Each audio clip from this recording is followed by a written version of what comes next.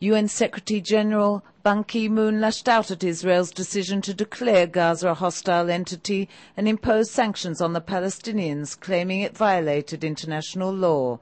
Meanwhile, in an effort to advance dialogue between Israel and the Palestinians, US Secretary of State Condoleezza Rice arrived in the region in preparation for the planned summit. Scheduled to take place in Washington in November, gaps remain between the sides. I would like to welcome again Secretary Rice to the region.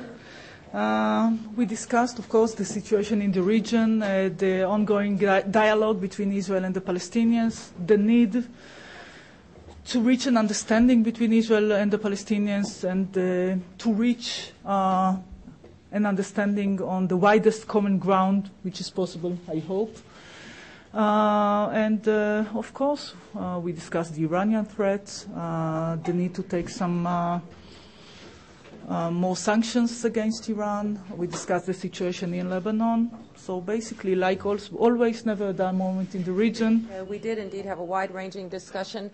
we focused fairly intensively for most of the time on the dialogue that is going on between the Palestinians and Israelis. Um, I said to uh, the foreign minister what I will say to all Israeli leaders that uh, we want to be as supportive as possible of this bilateral dialogue. We are um, hopeful that it can move forward to uh, common understandings of a way forward to the creation of a Palestinian state so that two states can live side by side in peace and freedom. In response to the ongoing Qassam rocket attacks on Israel, the cabinet on Wednesday decided to impose sanctions on Gaza, in addition to calling it a hostile area.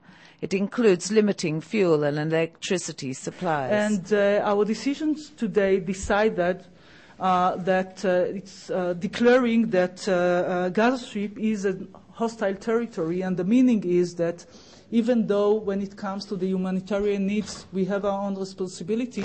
On the other hand, all the needs which are more than the humanitarians, uh, humanitarian needs will not be supplied by, Israeli, by Israel to uh, Gaza Strip. It's no secret that the United States uh, declares Hamas a terrorist uh, organization.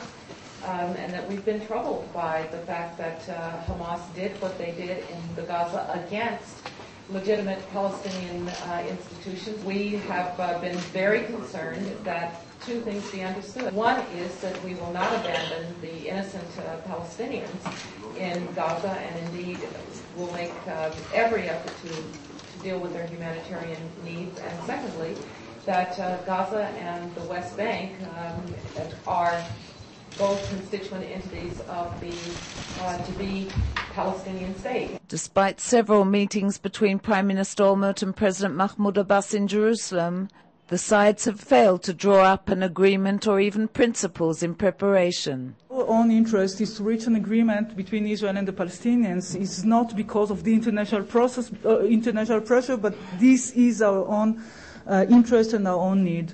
But uh, it is very important to find what is the common denominator, whether there are common grounds that we can uh, agree upon in these kind of sensitive issues. And this is part of the dialogue between uh, uh, Olmert, and this was part of the dialogue between Olmert and Abu Mazen. And we need to find out whether we can bridge the gaps on certain issues which are more sensitive. Asked who will participate in the summit and whether Syria and other Arab leaders will be invited, Rice said it was still unclear. We haven't invited anyone yet, so I'm not going to uh, address the issue of participation until we address the issue of participation. Iran's race to attain nuclear capability continues to threaten regional stability, but the Secretary of State says America continues to leave all options open. President Bush uh, that the United States is uh, committed to a diplomatic track because we believe a diplomatic track will work. Um, the President of the United States also never takes any of his options off the table. Uh, that it is not business as usual with a state that is seeking the technologies that could lead to a nuclear weapon and whose president uh, has said the most awful things about uh, another member of the United Nations, speaking of wiping uh, Israel off the map. So it can't be business as usual with Iran. Uh, but our view is that the uh, diplomatic track uh, can work. It has to have both um, a way for Iran to pursue a peaceful resolution of this uh, issue, and it has to have teeth. And the UN Security Council and other measures are providing teeth.